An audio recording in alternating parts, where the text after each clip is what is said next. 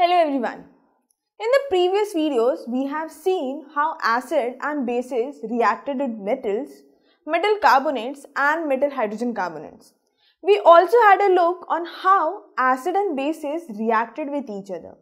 So now we are going to see another important property of acids. Now, how acid reacts with metallic oxides, we are going to see this only here.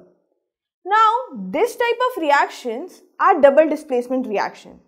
In this case, the oxygen from the metallic oxides will go and combine with the hydrogen and the remaining all will combine with each other. Like if we see an example of copper oxide and hydrochloric acid. Now the oxygen will go and combine with hydrogen to form water and the remaining copper and chloride will combine to form copper chloride. Now this is of light green color. So you can see that we got copper oxide and HCl which resulted in the formation of salt and water. So what we can conclude from this? We have seen in the acid and bases reaction that when acid and bases reacted, we got salt and water. In the similar way, now we can say that the metallic oxides combine with the acids to form salt and water. So we can say that the metallic oxides are basic in nature.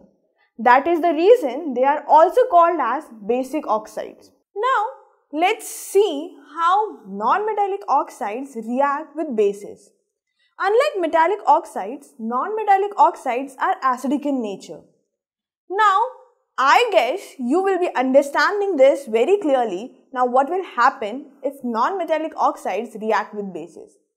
And if you are thinking it will give salt and water, then bingo, you are right. You are going in the right direction.